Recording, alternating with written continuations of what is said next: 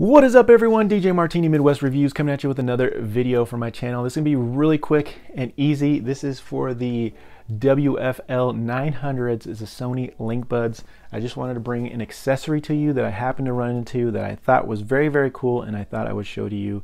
If you didn't know anything about them, I thought it was super cool. So they make from Celsitor 1 here. Uh, if you can read that right there. I don't know if I'm saying that right, but I will leave a link they make these little plugs and they are to block a noise reduction for the link buds. And you can see right there these are a link bud sony link buds. And you can see right there that this donut shape is your speaker and there's a hole in the middle because they're made so you can hear your outside world.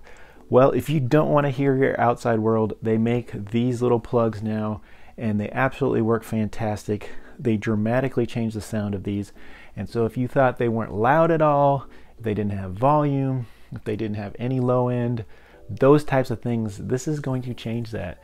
And they're going to actually sound a little bit better for low end. You're going to have a little bit more volume, and it's definitely going to affect the way that they sound in your ears. Absolutely, no doubt about it. If you want the best of both worlds, sometimes you want to be able to hear the outside world.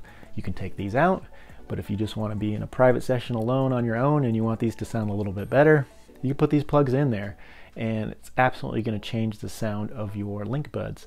So I thought that was a very, very cool accessory. They're very uh, easy to put in. You just push them in. They're very easy to pull out. You can just, they have a little edge on there you can see and you can just pull them right out. But they do fit in very, very well. Easy to put in so small that it's kind of hard to show you, but you can just push them in and they fit very well. They still fit in the case with no issue as well. You can see that both of these have the plugs in. And like I said, they're absolutely going to change the sound of your link buds. And I thought that was a very, very cool, easy accessory to bring to you.